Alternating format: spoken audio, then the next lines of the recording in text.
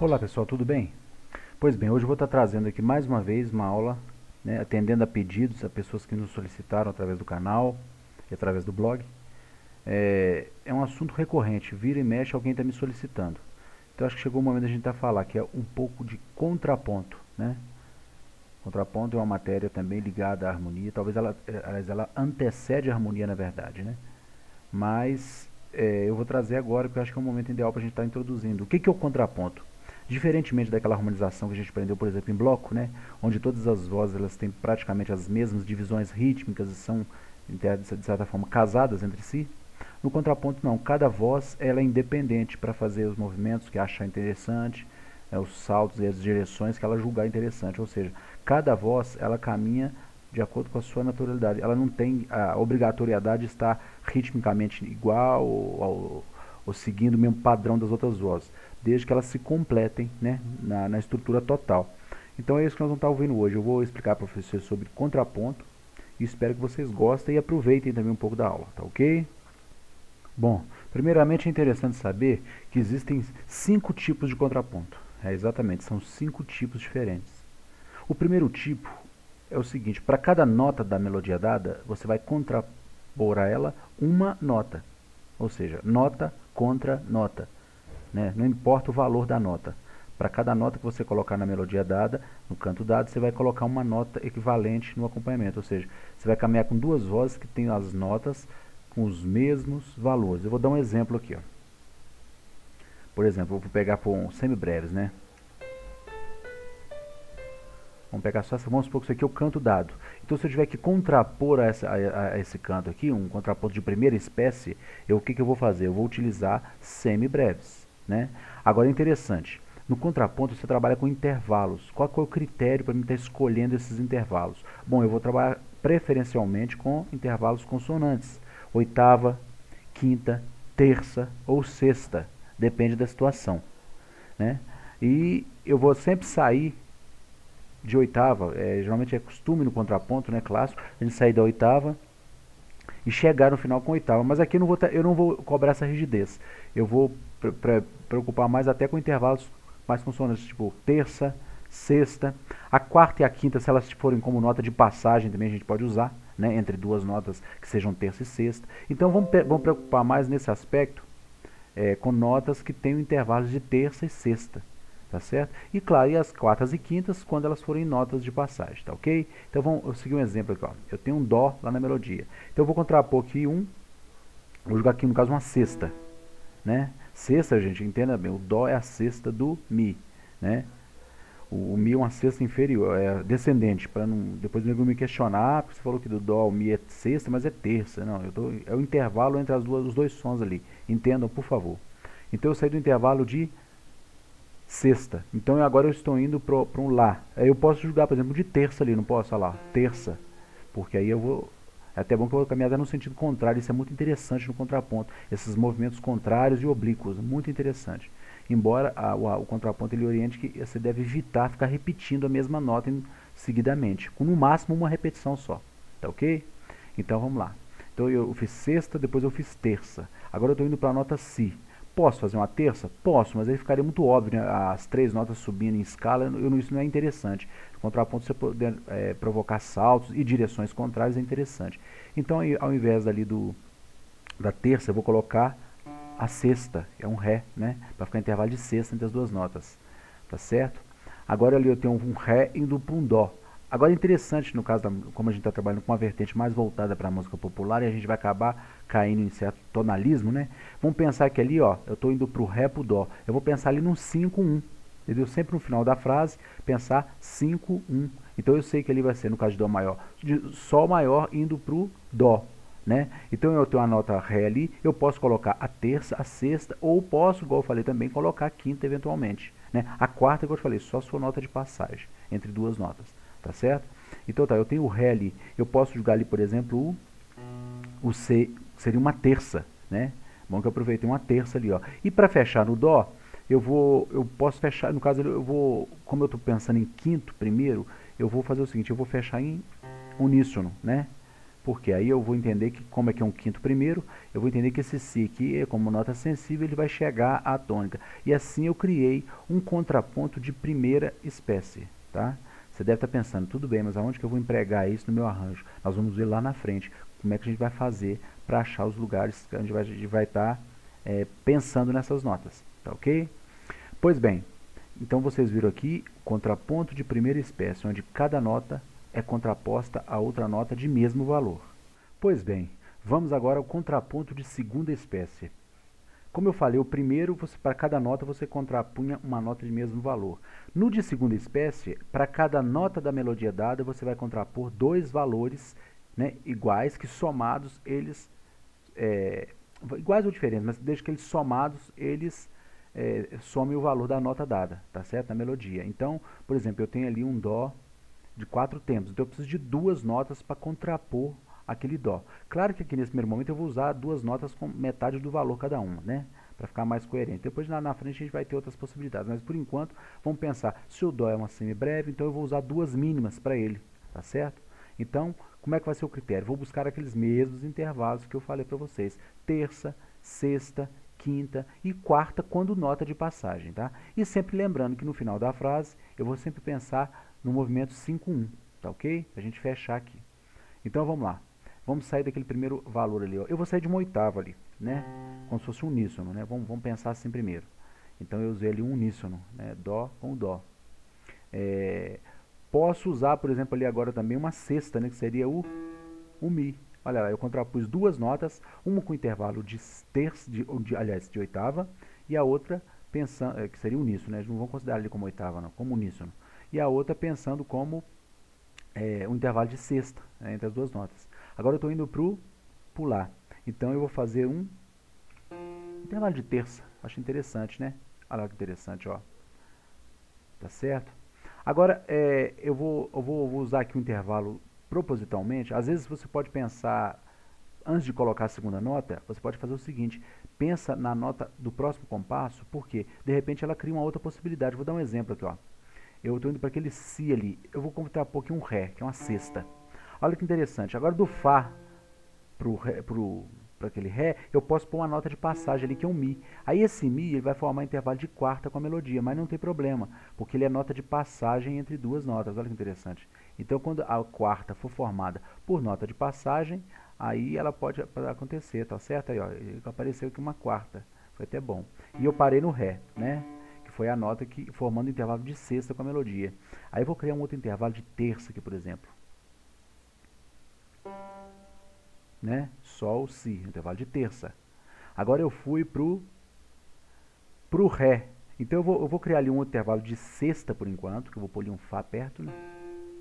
E como eu falei para vocês, eu estou pensando em 5, 1, então eu vou criar ali o e o último valor, sempre o valor, aí o contraponto sempre vai fechar com primeira espécie, sempre uma nota com o mesmo valor. E assim eu terminei o nosso é, contraponto de segunda espécie, onde eu, para cada nota da melodia dada, eu contraponho duas notas que equivalam ao tempo dela, tá ok? Agora nós vamos ao, ao contraponto de terceira espécie. Eu disse que o de primeira espécie, para cada nota da melodia dada, você contrapunha uma nota de mesmo valor. No de segunda espécie, eu dividi esse valor ao meio, ou seja, para cada uma nota da melodia eu daria duas notas de contraponto. Agora, para cada nota da melodia eu darei quatro notas de mesmo valor daquela nota dada, ou seja, eu vou, eu vou contrapor a ela quatro notas referentes ao valor dela. E aqui, para a gente ter mais ferramentas, aí eu posso trabalhar alguns ornamentos melódicos, né? bordadura, nota de passagem, tá certo? Porque são ornamentos que vão me dar mais possibilidade para eu não ficar buscando somente intervalo de terça, quinta ou sexta. Então eu posso ter outros intervalos diferenciados, porém como nota de passagem, como bordadura, né, como uma apogiatura. Então assim, agora já vai ter uma, uma, uma gama um pouco maior de possibilidades. Vamos lá fazer essa experiência? Vamos lá. Eu estou saindo do Dó. Eu vou usar como primeira nota ali o intervalo de uníssono. Né? Vamos pensar no Dó ali como uníssono. Tá certo. Agora, eu vou, olha que hora que interessante. Eu vou eu vou fazer um intervalo de, é, de sexta, só que antes do de sexta eu vou fazer uma nota de passagem, porque a sexta ele seria o Mi, então eu vou fazer assim, ó. Olha que interessante, eu criei uma nota de passagem para chegar no intervalo de sexta, tá certo? E aqui eu posso, por exemplo, se eu quiser, é, posso criar um outro intervalo consonante, ou então posso já pensar na nota da frente, né? Mas eu vou, é, vou, vou criar ali primeiro um, um intervalo é, consonante primeiro, né? Ou colocar assim, ó, um intervalo de terça, olha que interessante. Aí agora eu vou julgar ali, para a próxima nota aqui é 1, um, um lá, eu vou julgar uma terça, para entendeu? Para poder chegar no intervalo consonante. Poderia usar um outro valor, poderia, poderia usar ali, por exemplo, um sol, né, que seria, uh, um, vamos dizer assim, um intervalo de segunda, mas aí como, como apogiatura, né? Seria isso aqui. Aí eu colocaria o Fá logo depois dele, assim, ó. Aí ele soaria como uma apogiatura dentro daquele compasso, né? E aí eu poderia continuar as notas. Vou deixar ele como apogiatura por enquanto, que eu tenho que colocar mais duas notas. Então eu estou com a nota Lá e com o intervalo de terça ali agora. Se eu pensar no intervalo de sexta, seria o Dó, né? Aí eu, eu posso colocar o Dó, se eu quiser, né? E aí eu tenho mais uma nota para colocar, né? Eu posso colocar o outro intervalo, ou então eu posso colocar já pensando na nota do próximo compasso para ver se eu posso criar ali alguma relação é, melódica. Então, por exemplo, a próxima nota é um, um Si. Eu posso jogar ali um Ré, né? Que seria a sexta. Posso jogar um Sol, que seria terça. Ou posso jogar o próprio Si, que seria a oitava. Mas eu vou, eu vou tentar jogar um outro compasso. Eu vou jogar ali uma sexta. Então desse Dó eu estou indo para o Ré, então eu vou pensar o seguinte, vou jogar um Dó sustenido de passagem para chegar no, no Ré, tá certo? É, o, o, contraponto não é, não é muito a gente ficar usando cromatismo assim do jeito normal, não, mas eu, eu, vou me dar essa licença aqui para a gente poder é, pensar já numa música mais, né, mais moderna, que você vai ter, muitas vezes, poder usar essas passagens cromáticas, né, como notas de passagem também, tá certo? Então, tá bom, eu cheguei ali no intervalo de sexta.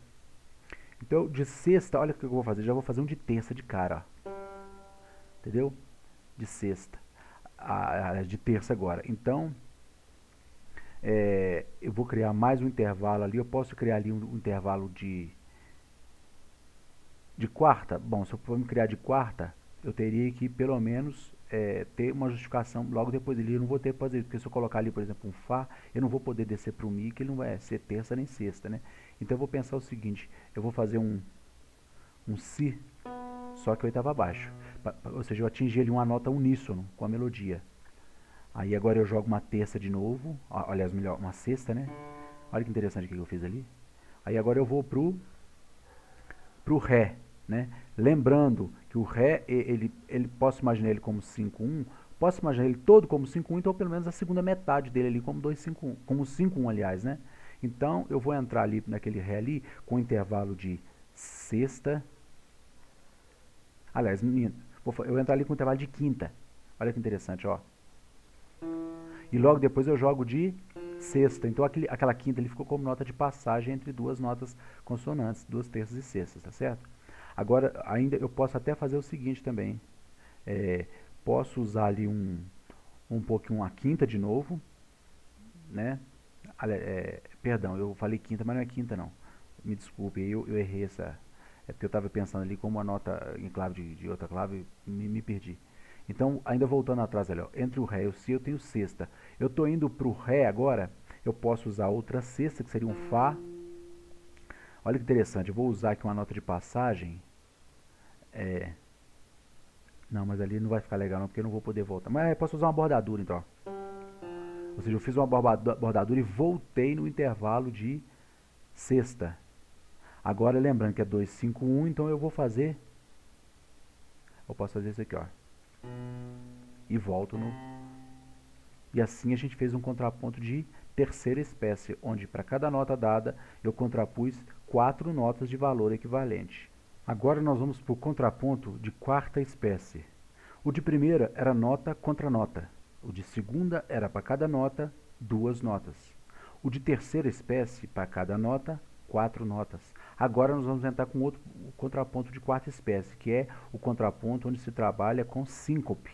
O que, que é a síncope? É uma nota que ela começa em um compasso e ela é prolongada até a nota da frente do compasso da frente. Embora a harmonia mude ou, ou a nota mude, mas essa nota ela é prolongada e só muda depois que já tiver entrado na próxima nota, no próximo acorde, ou seja, ela é prolongada até o próximo efeito. Então isso aí é o que a gente chama de síncope, né? São acentuações que elas saem fora do tempo dos tempos fortes. Ela pode começar na metade de um tempo fraco, entrando para um tempo forte, e ela só muda depois da entrada.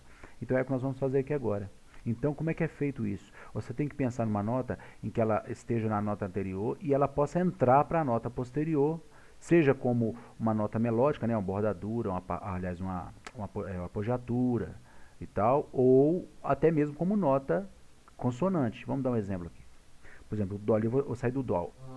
Eu vou pensar ali no, é, no uníssono. Aí olha, olha que interessante. Eu vou fazer ali, é, naquele Dó ali, um, um intervalo de... É, vamos pensar aqui. Eu vou pôr o... Eu vou pôr o, a sexta ali. Aí eu vou fazer assim, estendo ela até o compasso da frente, só que ela não pode ficar lá porque aquele intervalo ali é o intervalo de quarta. Claro, ela é autorizada porque é uma nota melódica, ela veio prolongada do compasso anterior, então não tem problema não. Mas assim que eu entrei lá, aí eu já automaticamente eu já vou para uma nota consonante, tá certo? Aí eu faço, no caso ali eu fiz um intervalo de terça, ou seja, eu entro com a síncope quando ela não for nota consonante, posso até entrar com ela na, na, no acorde da frente, porém assim que eu tiver lá eu já tenho que já buscar uma nota do do acorde, que forma um intervalo consonante, para que a gente possa estar tá fazendo essa, essa relação, tá ok? Aí aqui a mesma coisa, eu vou prolongar, né, ó. Só que ali eu formei um intervalo de quarta aumentada. Aí eu posso jogar o intervalo. Eu escolhi no caso ali a terça, né, o intervalo de terça. Aí eu vou prolongá-lo agora do mesmo jeito, ó. Vou ser obrigado a prolongar para configurar a quarta espécie. Só que ficou um intervalo de quinta, tá certo?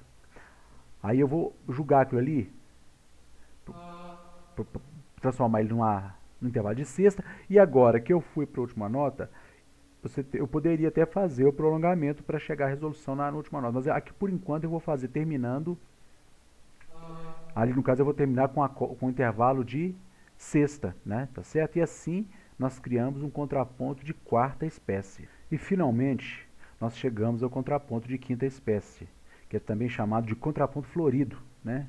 Porque ele é uma mescla de todos os anteriores. Aí você fica à vontade para trabalhar uma, duas, quatro, síncope, do jeito que você quiser. Você pode intercalar as demais espécies para que o contraponto ele tenha mais, é, mais movimentos, mais, né, mais matizes de, de, de, estrutura. Então, eu vou fazer esse aqui buscando eu vou tentar explicar aqui o que, que eu vou estar tá fazendo à medida que eu, qual a espécie que eu estou usando, tá ok?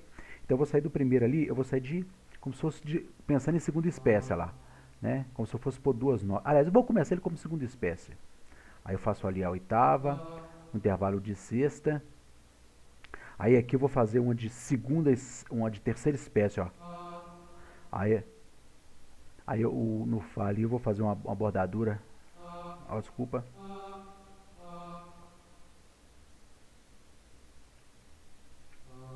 Fiz um, um, contraponto de terceira espécie. Aí eu vou esticar aquela. Ah, não, já não vou poder não, porque vai formar um intervalo muito, muito sono. Achei que não é o momento aqui agora não.